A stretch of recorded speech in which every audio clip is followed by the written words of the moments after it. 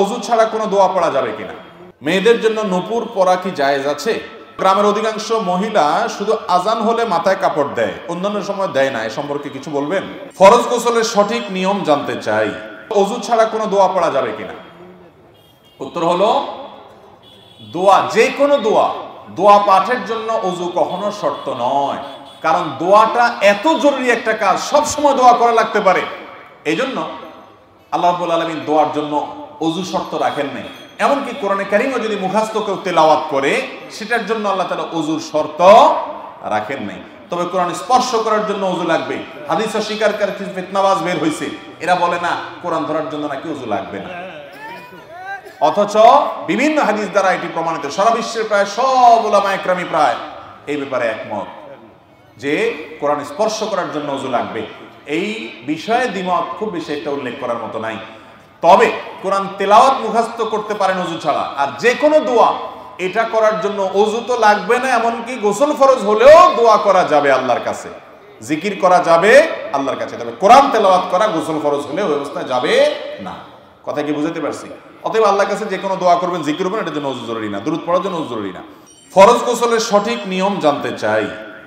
ফরজ গোসল, এটার সঠিক নিয়ম হলো যে আপনার শরীরের কোনো জায়গায় যদি নাপাক লেগে থাকে, রানে, শরীরের কোনো জায়গায়, অথবা আপনার কাপড়ে যেটা পরনে কাপড় আছে, সেখানে যদি নাপাক লাগে, ফরজ গোসল হয়েছে তাহলে সেক্ষেত্রে এক নম্বরের কাজ হলো গোসলখানায় গিয়ে, পুকুর ঘাটে গিয়ে যেখানে গোসল করেন, যেখানে নাপাক লাগছে, ভালো করে পানি দিয়ে ডলে আগে নাপাকটা দূর করে ফেলবেন।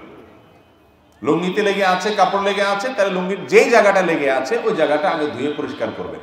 এটা হলো প্রথম কাজ, ফরজ গোসলের দ্বিতীয় কাজ হল, আপনি অজু করার মতো করে দুই হাতের কবজি আগে ভালো করে তিনবার ধুয়ে, তিনবার কুলি করে নাকে পানি দিয়ে মুখ তিনবার ধুয়ে, হাতের কোনোই পর্যন্ত তিনবার ধুয়ে, তিনবার তিনবার করে দোনো হাত, এরপরে মাথা মাসায় করে একবার, কান মাসায় করে, এরপর আপনার শরীরে মাথায়, ডান কাঁধে, বাম কাঁধে আপনি পানি ঢালবেন।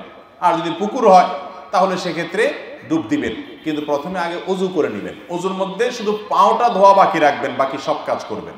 মুখ ধোয়া, হাত ধোয়া, মাথা মাসে করা, এগুলো করে পাও ধোয়াটা বাকি রেখে গোসল শুরু করবেন। বিসমিল্লা এরপরে গোসল করা শেষ হয়ে গেলে আপনি উঠার সময়, বের হওয়ার সময় দুই পা ভালো করে ধোবেন।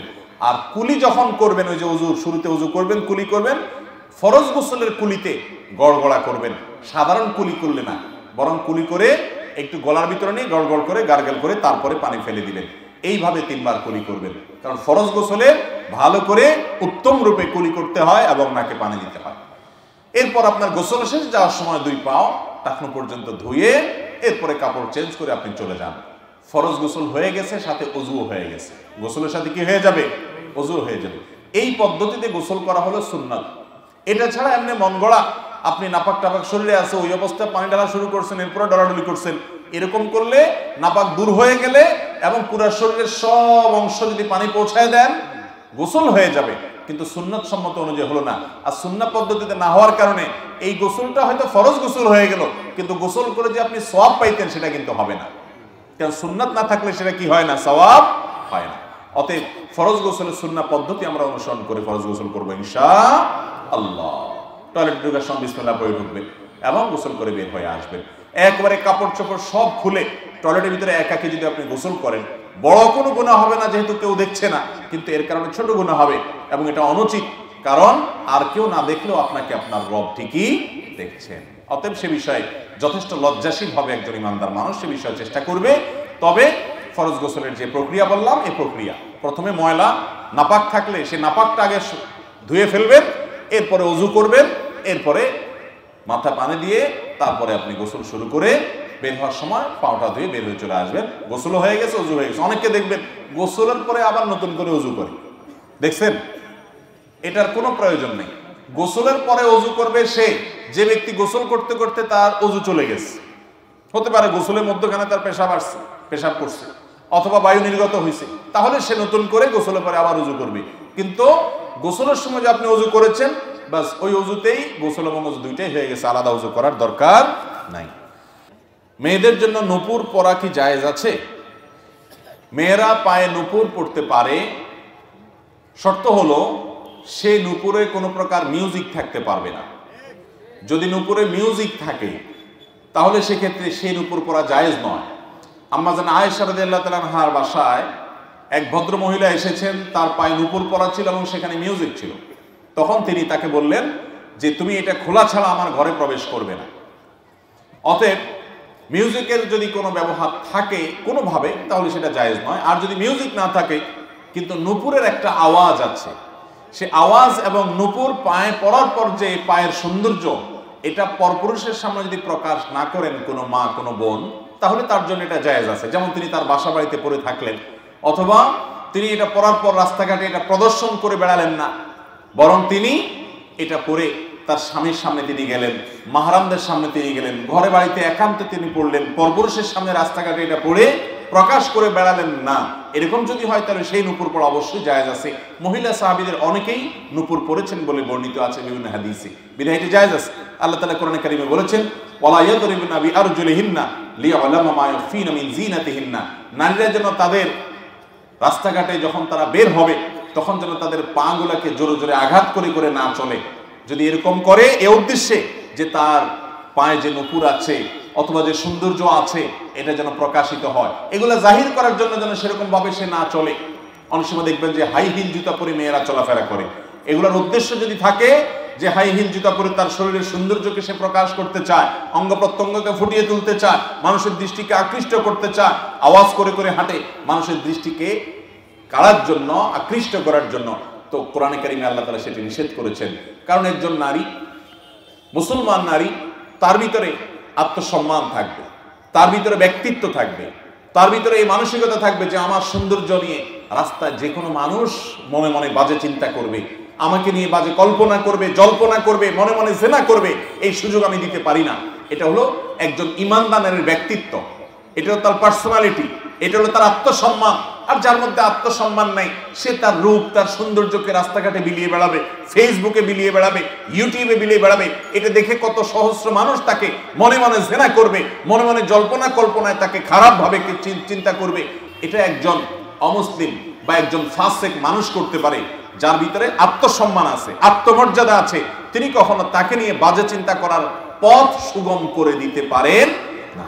এই জন্য একজন নারী সবসময় তার এই সৌন্দর্যকে পরপুরুষের সামনে, রাস্তাঘাটে মানুষের সামনে প্রকাশ করে বেড়াবেন না। কারণ এগুলো প্রকাশ হলে কি হবে সেটা আমাদের সবার কাছে জানা।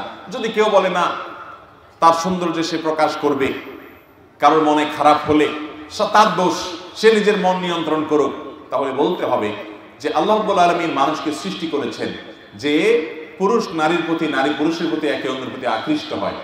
অতএব এখানে আকর্ষণের সমস্ত পথ খোলা রেখে যদি বলা হয়, না, তোমার মনটাকে সোজা করো, মনটাকে ভালো করো, এটা পৃথিবীর সবচাইতে অযৌক্তিক কাজগুলোর একটা। দুনিয়াতে কোনোদিন এটা সম্ভব হবে তথাকথিত পশ্চিমা দুনিয়ার দেশগুলোতে দেখেন, সেখানে নারীরা অনেক খোলামেলা, অনেক অশ্লীল পোশাক আশাক করে চলাফেরা করে।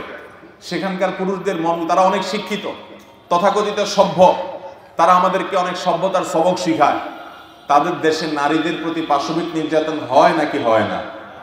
বরং পৃথিবীর অন্য অনেক দেশের চাইতে বেশি হয়। আমার, এই কারণে আল্লাহ দেওয়া সিস্টেম এবং বিধানের বাইরে মানব জাতির কল্যাণ কখনো নিহিত থাকতে পারে না।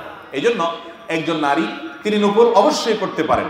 কিন্তু সে নুপুরে যেমন মিউজিক থাকতে পারবে না, তেমন সেটা রাস্তাঘাটে পরপুরুষের সামনে দেখিয়ে বেড়ার মানসিকতা থাকবে না। নিজের স্বামীর সামনে সেটি প্রদর্শন করবে, একান্ত মাহারামের বাসার ভেতরে থাকা মানুষদের সামনে যে প্রদর্শন হতে পারে।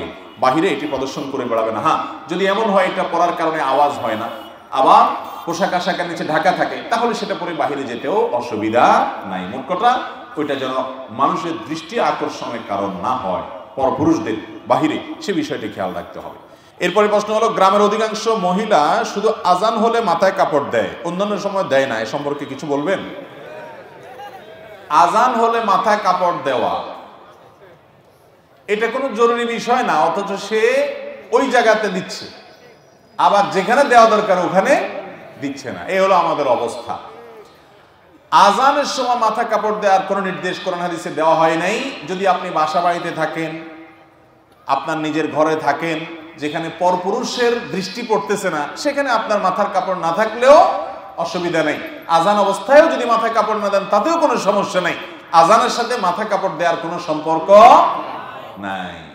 কিন্তু পরপুরুষের দৃষ্টিতে আপনি পড়েন, বাহিরে গেছেন, তখন আপনাকে পর্দা মেনটেন করতে হবে। আপনার সৌন্দর্যকে অপ্রকাশিত করতে হবে। এবং আল্লাহ বলেছেন ওলাইউদ্দিন জিনা তাহুন্না ইল্লামা জহরা মিনহা। শরীরের নিজের সৌন্দর্যকে যেন নারীরা প্রকাশ না করে অন্য পুরুষদের সাথে যারা গায়ে মাহারাম তাদের সামনে। অতএব মাথায় কাপড় দেওয়ার সম্পর্ক হলো, আপনি গায়ে মাহারামের সামনে আছেন, তখন আপনি মাথায় কাপড় দিবেন, সৌন্দর্যকে আপনি ঢাকবেন, পর্দা করবেন। আর গায়ে মাহারাম নাই বাসা বাড়িতে নিজের মাহারামরা আছেন, সেখানে মাথা কাপড় না দিলেও সমস্যা নেই। আমাদের দেশে অনেক জায়গায় মাথা কাপড় দেওয়ার জন্য মহিলারা বলে মহিলাদেরকে বলা হয়। যত রকমের ভুল ফতোয়া আছে, এগুলা সবগুলা মহিলাদের উপরে বেশি জারি করি আমরা। ঠিক না বে ঠিক বলে যে গোসল ফরজ হলে বাচ্চাকে দুধ খাওয়ানো যাবে না, গোসল ফরজ হলে বেশি সময় শুয়ে থাকা যাবে না, ছেলেটা ঠিকই শুয়ে থাকে। বলে রান্না বাড়া করা যাবে না, যত ফতোয়া আছে সব কার উপরে? ওই মহিলার উপর। এটা ঠিক যে গোসল ফরজ হওয়ার পর দেরি না করে তাড়াতাড়ি গোসল করা উত্তম। কিন্তু এর মানে এই না যে গোসল ফরজ হয়েছে, এখনও নামাজের রক্ত হয় নাই, দেরি আছে, তাহলে দেরি করলে তার গুণা হয়ে যাবে বা ওই অবস্থায় কাজ করলে তার সেটা হারাম হবে, এমন কোনো কথা নেই। তো উল্টা পাল্টা ভুলভাল ফতোয়া দিয়া মহিলাদের উপরে বেশি জুলুম করা হয় আমাদের দেশে। এগুলা করা যাবে না। তাহলে মাথায় কাপড় দেওয়ার সাথে আজানের কোনো সম্পর্ক, এটার সাথে গায়রে মারামের সম্পর্ক, কোথাকারটা কোথায় নিয়ে আমরা লাগাই তবে এটা ঠিক যে আজানের সময় আল্লাহর নাম শুনে তখন শ্রদ্ধার কারণে অনেক মহিলা মাথায় কাপড় দেয়। তখন শ্রদ্ধার কারণে মাথায় কাপড় না, তখন মুখে আজানের জবাব দিতে হবে। তখন কি দিতে হবে? আজানের জবাব দিতে হবে। যেটা করা লাগবে ওইটার খবর নেই, আরেকটা করতেছে। আল্লাহ আমাদের সবাইকে হেদায়ত দান করুন